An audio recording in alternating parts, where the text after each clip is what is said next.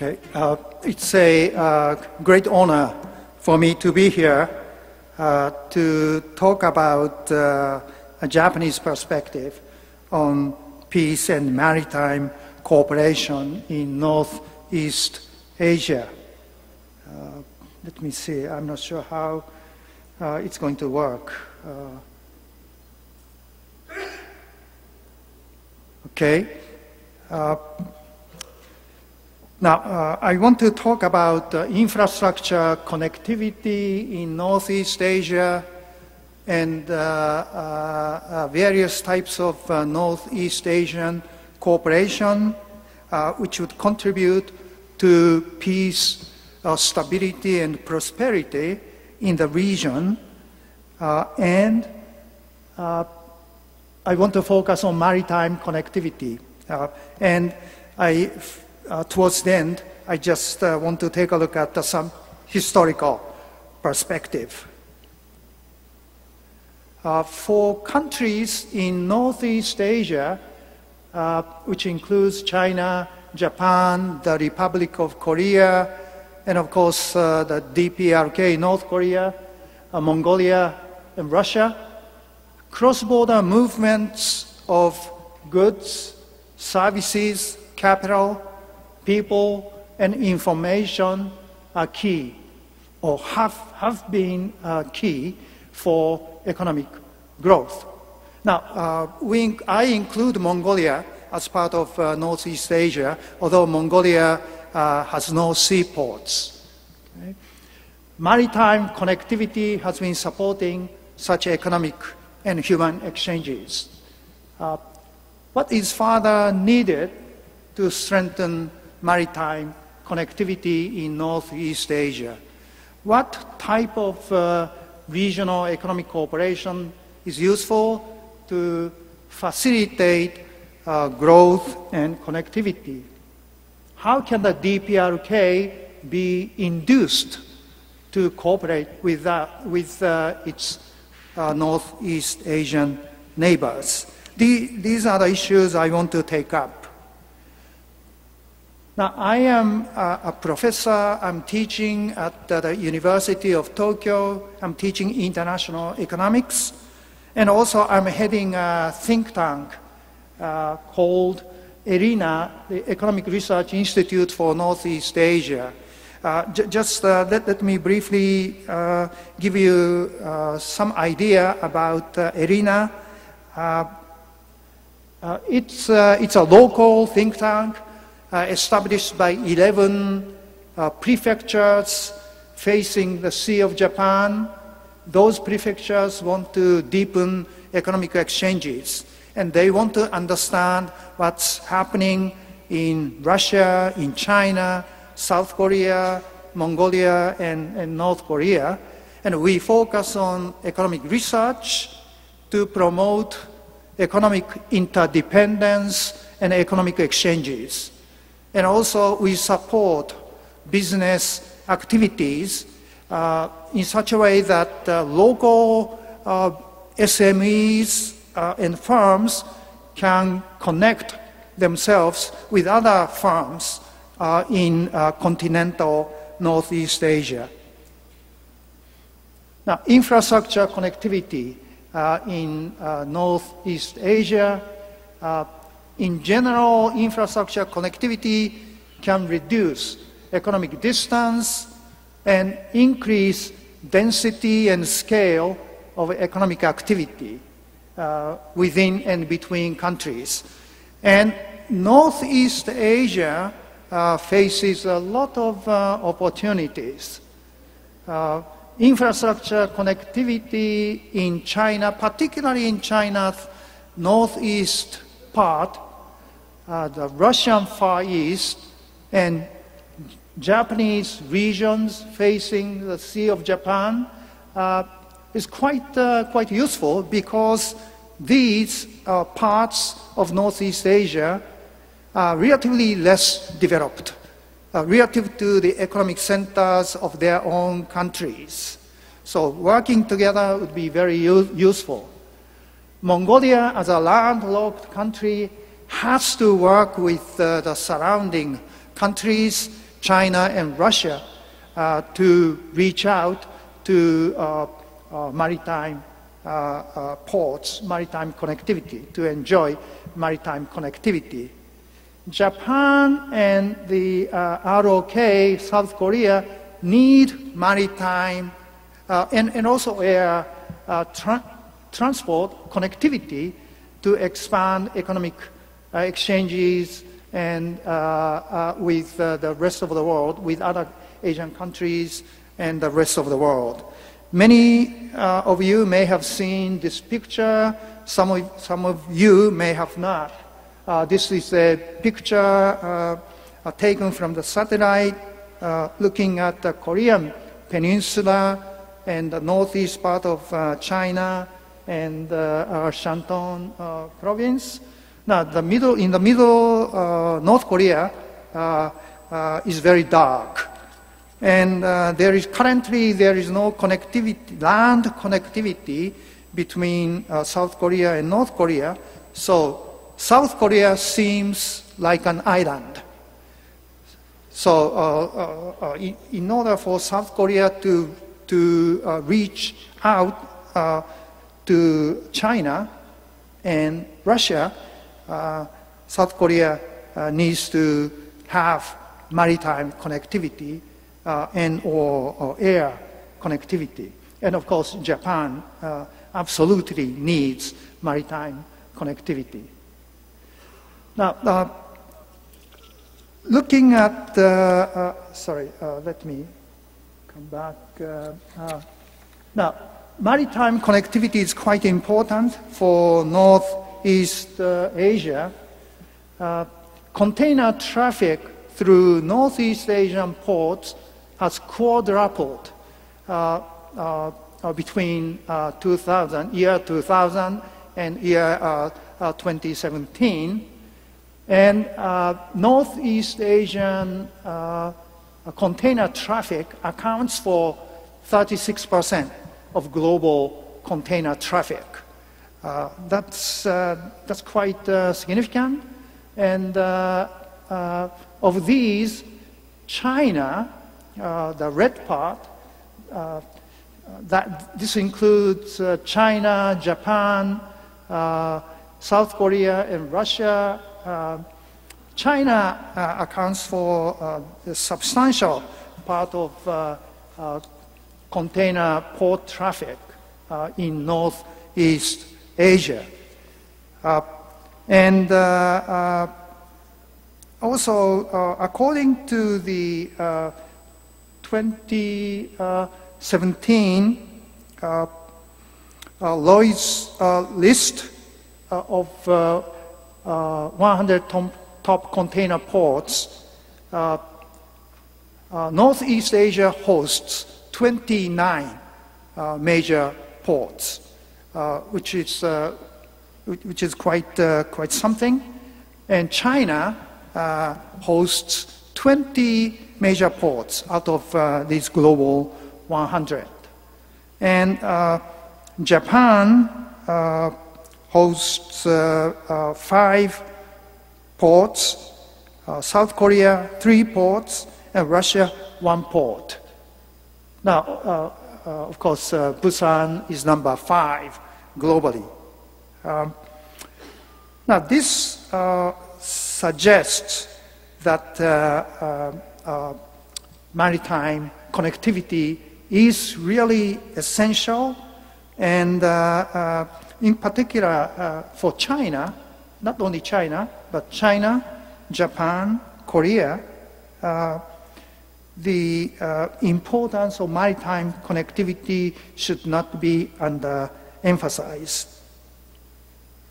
And uh, this means uh, that the Northeast Asian countries uh, should be uh, really interested in protecting oceans and seas as common assets uh, or the commons where not only countries facing seas and, and oceans directly, but also users of oceans and seas uh, have to uh, protect. Uh, oceans and seas as commons. And uh, this means that uh, these countries uh, need to maintain peace, security, and safety, free navigation and free access to oceans and seas, uh, pollution-free blue water, sustainable development of marine resources, including fish stock, uh, undersea oil and gas, and other resources, and also safety of underwater cables for digital connectivity. Now, this suggests that international cooperation is quite important based on the rule of law governed by, for example, uh, the uh, UNCLOS, United Nations Convention on the Law of the uh, Sea. Uh, looking at uh, Northeast Asia, more efforts are needed to strengthen maritime connectivity. Now, I took a look at uh, several indexes. Uh, uh, Mr. Kevin uh, uh, Ashton uh, earlier took a look at one, of, one of the indexes. I take a look at the quality of port infrastructure reported by the World Economic Forum, ease of trading across borders reported by the World Bank, and logistics performance index reported by uh, by the World Bank also. Um, now, quality of, so for Northeast Asian countries, and uh, unfortunately, uh, there are no data for uh, North Korea. Uh, some indexes and uh, ranking, particularly in the parentheses, global ranking is shown. So, for example, quality of port infrastructure, China ranks uh, uh, globally uh, number 49, and Mongolia 136. So Mongolia has no, no port, but facilitation by using China and, and Russia would be quite, uh, quite important. That, that's why Mongolia is included.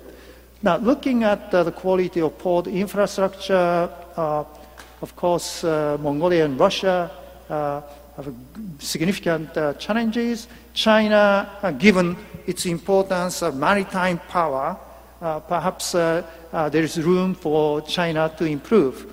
Ease of uh, trading across borders. Uh, now here, uh, China, Mongolia, Russia, and even Japan can, can make significant improvements logistics performance index, by looking at the logistics performance index, uh, Mongolia needs to do a lot of work, Russia and uh, China, Japan, and, and, and uh, Korea uh, are doing relatively, relatively well.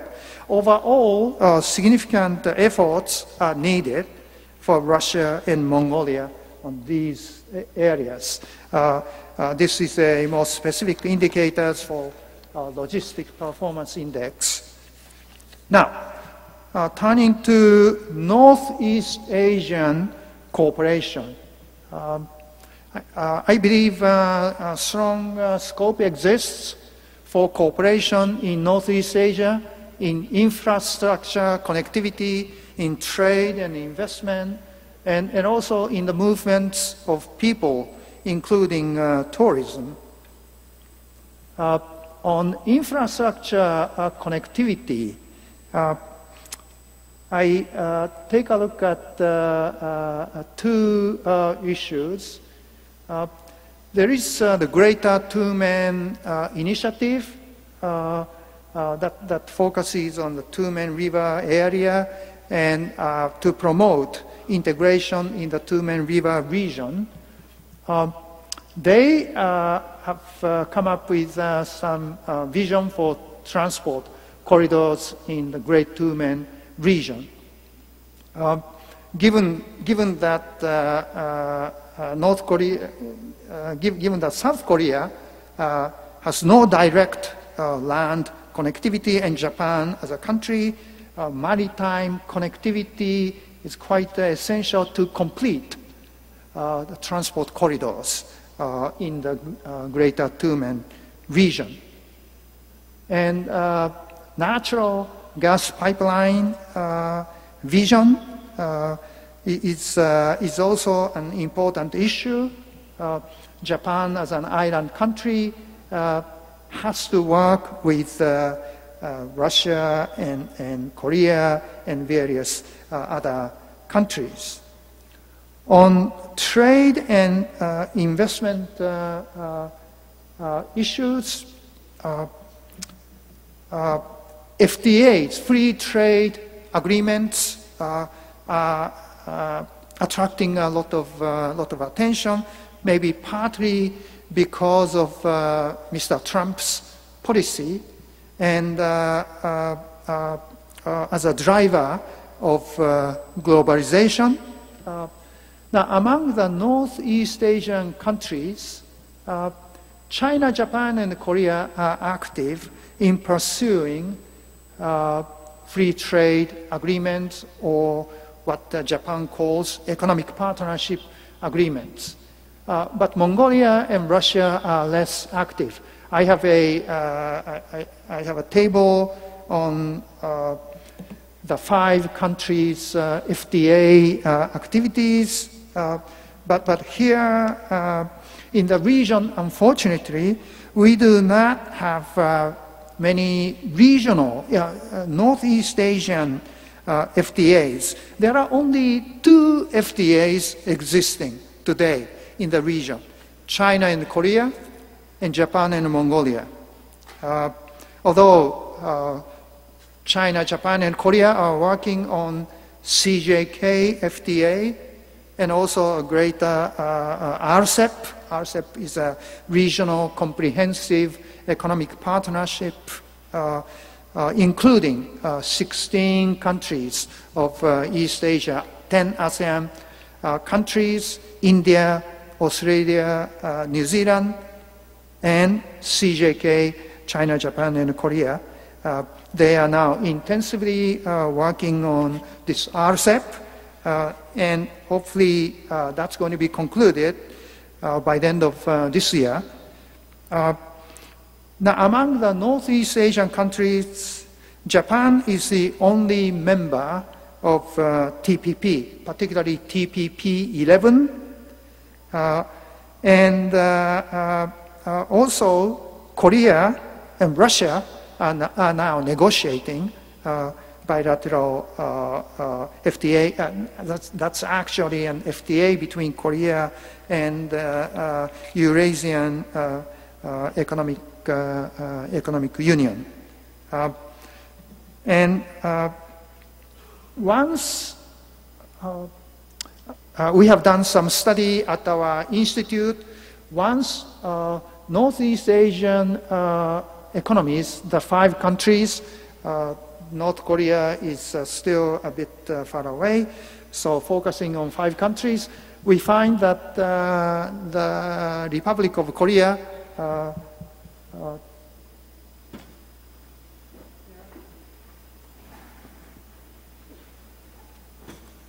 the Republic of Korea gains most through economic uh, integration, through trade and, and investment. Uh, other countries also benefit in terms of GDP. Uh, tourism cooperation is another important, uh, important type of cooperation because inbound tourism contributes to greater uh, consumption spending uh, in, in, a receiving, in the receiving country, and also tourism contributes to uh, greater mutual understanding uh, between the visitors and local, local people. So, so it's, uh, it's really win-win.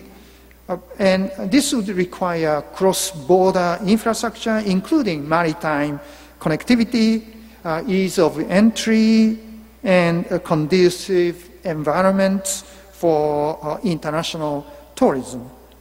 And Northeast Asian countries can jointly promote such uh, uh, uh exchanges. And uh, Finally, uh, for uh, Northeast Asian cooperation, I want to emphasize uh, that uh, uh, the countries, the neighboring countries can support the DPRK in economic uh, transition. of course, Northeast Asia, sorry, North Korea has to come back to the international community through denuclearization and economic reform with uh, marketization, uh, market-oriented reform, and uh, uh, economic opening. Uh, and from the Japanese perspective, in order to provide financial aid and convince the Japanese public that providing money to North Korea is useful, resolving the abduction issue is, is quite, quite, quite important. And once North Korea comes back to the international community, uh, there is, uh, there is a great future for, uh, for North Korea. So, so when uh, President Trump uh, met with uh, Chairman Kim Jong-un, there was a film, film video showing how great it would be for North Korea to come back to the, the international community. I, I liked I liked that, that video uh, very, very much. I hope uh, uh, Chairman uh, Kim Jong-un was, uh, was impressed by, uh, by that video. But, but anyway, for North Korea to do so, North Korea has to become a member of the IMF, the World Bank, ADB, and possibly the AIIB uh, and other financial institutions to receive multilateral financial support. But that, that means that North Korea has to show everything, uh, every economic uh, data uh, uh, to the uh, international organizations. and bilateral support would be quite, quite useful, and North Korea can be included in the East Asian supply chains uh, so that uh, everybody uh, would, uh, would, would, benefit. And infrastructure connectivity, maritime connectivity is quite, uh, quite important. Just, just in the last minute, I want to just uh, show a, a this peaceful Uh, diplomatic uh, envoys visiting uh, from Korea, uh, uh, Japan, uh, in the 17th and 19th century. And the UNESCO Memory of, of the World program decided to include the, the, memories uh, of uh, this peaceful exchange between Japan uh, and, and, Korea in the 17th, 18th, and 19th century. And uh, maritime, sorry, this is in Japanese, but uh, maritime connectivity was essential and, and uh, uh that connected uh, between Seoul and, and Tokyo through Busan and Tsushima and all the way to Kyoto and, and Tokyo. So uh, my conclusion, uh, Northeast Asia is a region that benefits substantially from maritime connectivity. And therefore, uh, Northeast Asia needs a rules-based international order for maintaining free navigation and access and protecting oceans and seas as commons, as uh, common assets or common properties. And regional economic cooperation in Northeast Asia will benefit all countries in the region through various efforts, uh, including greater infrastructure, particularly maritime connectivity, uh, expansion of trade and foreign direct investment, and a possible Northeast Asia FTA, and greater movements of people such as business persons and tourists. And Northeast Asia will be an even more dynamic region once North Korea returns to the international community. And uh, Japan and Korea have had a long tradition of peaceful relations through maritime connectivity. Thank you very much for your attention.